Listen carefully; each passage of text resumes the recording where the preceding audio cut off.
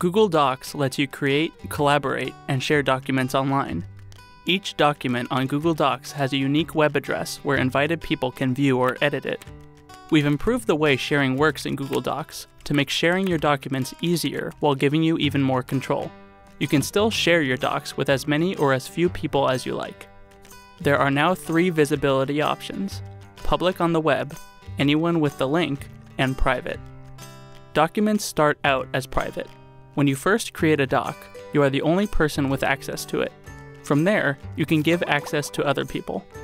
Private is the best option for your own private documents, like a homework assignment or wedding guests.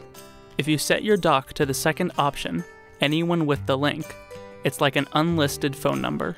In the same way that anyone who knows an unlisted phone number can call it, anyone who knows the web address or URL of that doc can view it. And you can easily share the doc with others by sharing the link. For example, if you're a college professor and you want to share a syllabus and reading list with your students, you could put that info into a doc, set it to anyone with the link, and send your students the link in an email. The third option is public on the web. Set a doc to public if you want to make it publicly available to anyone. For example, you could create a flyer for a concert, save it as a public doc, post a link to it on your blog, and ask your friends to do the same. Public documents are automatically indexed by search engines like Google, so they may appear in search results as well. If you've chosen to make your doc accessible to anyone with a link or public on the web, you can also choose to allow anyone to edit the document. It's easy to change the visibility option on a doc at any time. Just click Share at the top right of any document.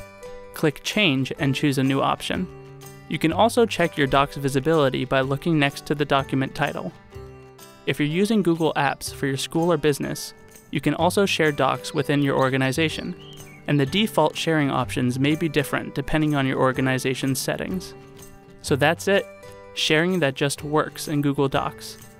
To try it out, go to docs.google.com.